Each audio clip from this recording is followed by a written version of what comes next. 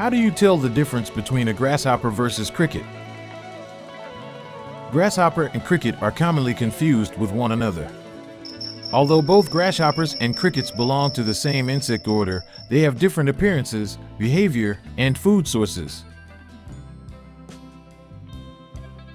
Do both insects have wings? Which insect can jump farther? Are they both active at the same time of day? Here's key grasshopper versus cricket differences to help you distinguish between these insects. So make sure to watch until the end.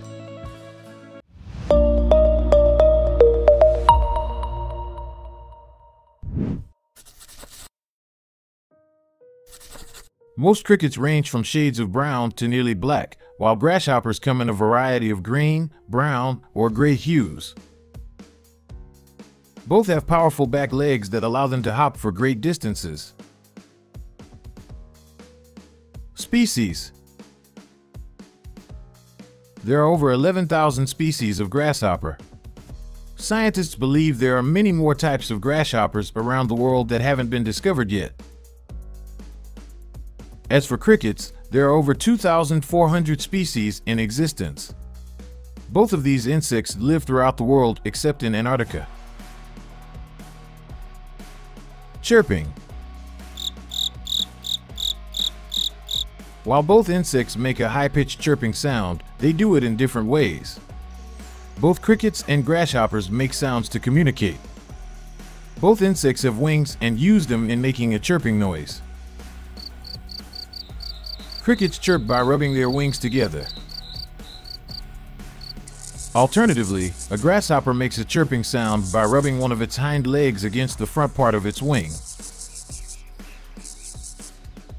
Color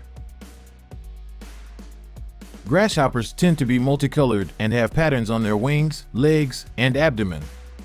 Common grasshopper species range from gray, brown, and green to bright red, yellow, and orange. Crickets are typically tan, brown, or black with hardly any distinct markings. They are often smaller than grasshoppers. Length Most grasshoppers have longer bodies than crickets. Depending on the species, grasshoppers can grow up to 4 or more inches in length. Most crickets, on the other hand, typically have a body length under 2 inches. Head and antennae. Grasshoppers have tall heads with an oval or rectangular shape to them. Crickets have rounded heads with two long, hair-like antennae sticking out to the sides. Grasshoppers have short antennae while crickets have long antennae. The antennae of grasshoppers stick upward from the top of their head, are segmented, and tend to be thicker than cricket antennae. In addition to using their antennae as feelers to navigate their surroundings, crickets use them to fight. Leg size. Crickets have shorter, thicker hind legs than grasshoppers. When viewed from above, a cricket's legs are splayed outward, like a frog's. Grasshoppers' legs are much longer and thinner. For the most part, jumping or flying away are the primary defenses for both insects.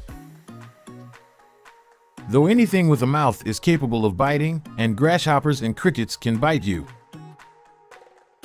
Both grasshoppers and crickets can jump a long distance. Cricket can jump the farthest. A cricket is able to jump 3 feet while a grasshopper can jump a distance of 2.6 feet. Wing shape. Crickets have much smaller wings than grasshoppers. A cricket's wings are not capable of sustained flight, but may be used to assist with hopping.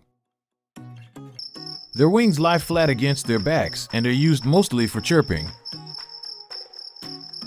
Grasshoppers have long wings that can extend past their bodies when fully developed, as seen in locusts. They also use their wings when hopping and migrating. Activity period these two insects are active at different times. Grasshoppers can be seen outside jumping and moving around during the day. They are out looking for flowers and stems to eat. Crickets sleep during the day and are active at night. Most cricket species are nocturnal. So, if you hear chirping somewhere in your room or home at night, it's most likely a cricket. Diets Although both grasshoppers and crickets are occasional omnivores, they prefer plants. They will devour leaves, stems, seeds, pods, or fruits. It's fine out in the wild, but can be devastating for your produce or flower gardens. They will also eat decaying leaf matter from the forest floor. If there aren't enough plant food sources to go around, grasshoppers and crickets are just as satisfied to eat smaller live insects, dead ones, or decaying animal carcasses.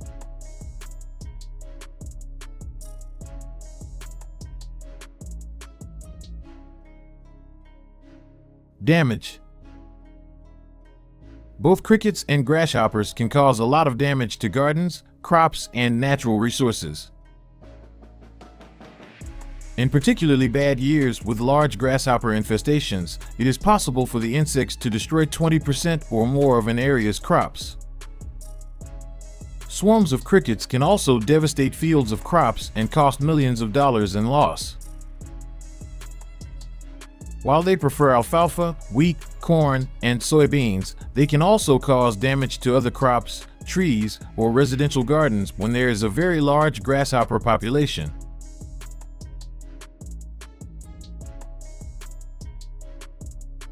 Crickets and grasshoppers often do coexist in natural environments with enough resources. So, if you're lucky you might find both crickets and grasshoppers in your yard. That's all for today. Please share your experiences in the comments. Like if you enjoyed the video, subscribe for more to come, and we'll see you on another videos.